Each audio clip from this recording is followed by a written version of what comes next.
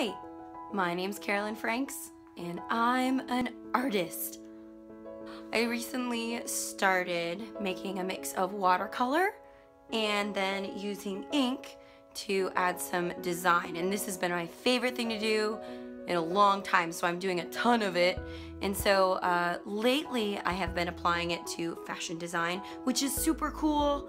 Right now um, my design line is called by Carolyn's Design Today I'm going to tell you a little bit about what I do and why I do it and what inspires me and I just thought connecting to the audience in this way would be really fun. So here we go. This is my art table. It is a hot mess, but I like it that way. I have a nice view of uh, the street and the beautiful Alaskan weather, but you always have snacks, and I make my very own inks, which is what all these little containers are right here. These are my homemade inks along with all my different materials and I kind of live in a chaotic, crazy, artsy world. This is Max. He's my emotional support dog and also my artistic assistant. He's the best.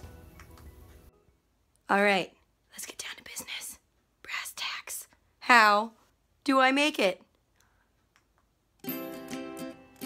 Usually, when I first start, I start with a clean piece of watercolor paper. Follow that, I start working with the ink. This is the best part. I like to create random color within the first part of my artwork. So I'll start with, I'll pick out two or three different colors from my custom made inks. So today I'm gonna do pink, just gonna be some orange, so I do this, this, splatters. We love to start with the splatters. There's sometimes this, because I get the ink on my hands, and then there's flicking, lots of lots of flicking like this.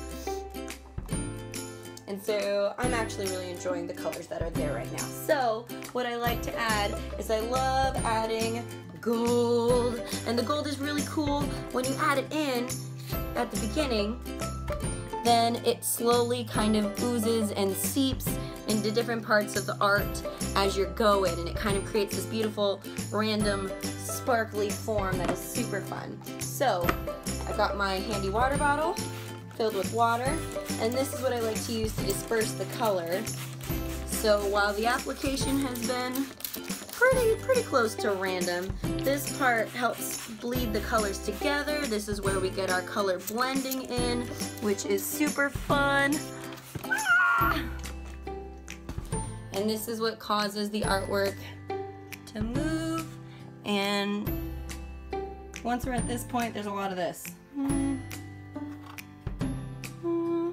And as it's drying, sometimes we add in more color. Pretty content with the way this one's looking though. So now we just wait for it to dry. Once the painting is dry, then we go into drawing mode. I like to use glass bowls to trace the circles in and this helps serve as a guide when you're drawing a mandala. So I like to start in the middle and build all the way out and I don't pre-plan.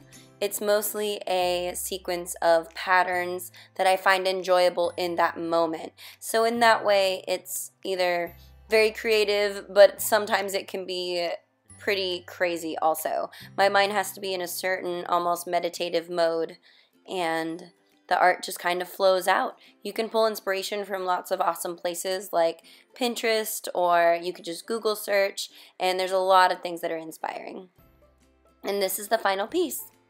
I'm working through and with a small website called artofwhere.com. It's super cool. They do all the printing in Canada. So while it might be a little bit more expensive, it's because it's super high quality, the fabric's really nice, and it takes like about two weeks for them to create each piece, which is super awesome.